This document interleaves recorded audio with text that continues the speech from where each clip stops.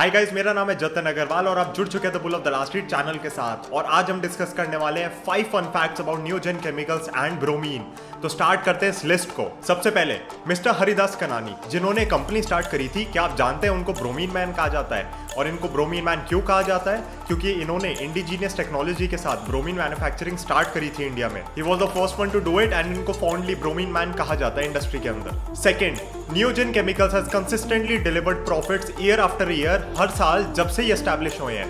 बहुत ही बड़ी बात हो जाती है किसी भी कंपनी के लिए स्पेशली एक जब छोटी कंपनी स्टार्ट होती है, हर साल इन्होंने प्रॉफिट्स डिलीवर करे। Third fact Neogen corporation USA ने इन पे ट्रेडमार्क इन्फ्रिंजमेंट का केस डाला हुआ है क्योंकि वो इंडिया में रजिस्टर कराना चाहते थे। इन्होंने उनको ब्लॉक किया क्योंकि ये लोग इंडिया में रजिस्टर्ड है।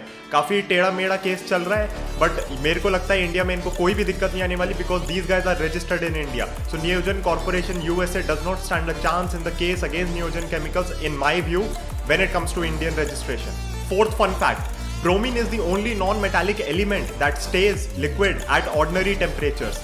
तो नॉर्मली आप देखेंगे एलिमेंट्स या तो सॉलिड स्टेट में हो गए या गैस स्टेट में हो गए, ये लिक्विड रहता है ऑर्डनरी टेम्परेचर पे। Fifth fun fact about bromine is कि ये रूम टेम्परेचर में इवेपोरेट हो जाता है। जी हाँ ये भले लिक्विड रहता है ऑर्डनरी टेम्परेचर पे बट जैसी रूम टेम्परेचर में आता है, ये इवेपोरेट हो जाता है आपका, ये हीट अप हो जाता है। इसकी क्लोरीन जैसी स्मेल होती है, जब ये इवेपोरेट हो रहा होता है रेड कलर के वेपर्स बनाता है। गाइज़ ये तो रहे five fun facts about Neogen chemicals and bromine I hope आपने पूरी वीडियो देखी होगी स्टॉक एनालिसिस देखा होगा, अगर नहीं देखा होगा तो मैं लिंक डिस्क्रिप्शन में डाल दूँगा एंड आप उस वीडियो को चेक कर सकते हैं। कंपनी काफ़ी अच्छी है, मुझे पर्सनली पसंद है। पर्सनली मेरे पोर्टफोलियो में भी केमिकल बास्केट में है। अगर आप इस कंपनी के बारे में और जानना चाहते हैं तो प्लीज़ उस वीडियो को देखिए। Thank you so much for watching watching this one and I'll see you in the next one. Bye.